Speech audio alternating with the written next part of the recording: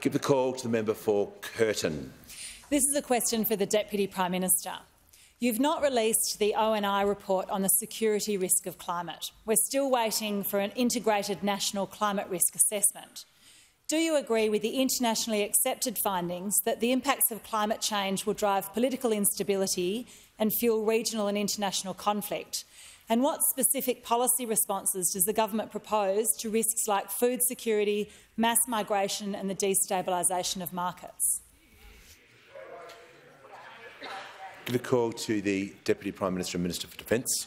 Uh, well, I thank the member for her question, and she raises a critically um, important issue in terms of uh, the geostrategic position that we face and the strategic landscape that we face. And the short answer to your question is I do accept uh, that the uh, pressures of climate change uh, will give rise to a more complex uh, and volatile strategic landscape for the world, but a strategic landscape that we must face as well.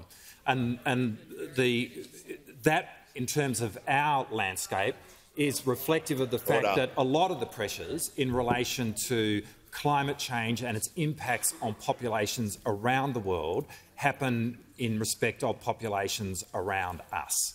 And so we will need to be uh, very mindful of the way in which we posture ourselves in respect of that. Hence the fact that uh, the ONI has been deeply Order. engaged on this question, as has defence planning.